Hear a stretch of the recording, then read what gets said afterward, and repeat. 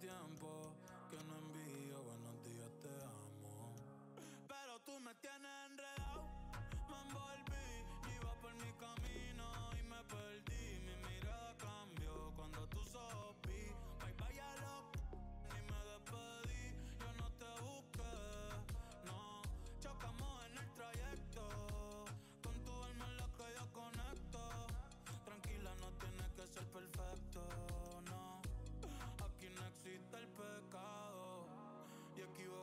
es bonito, los errores son plaza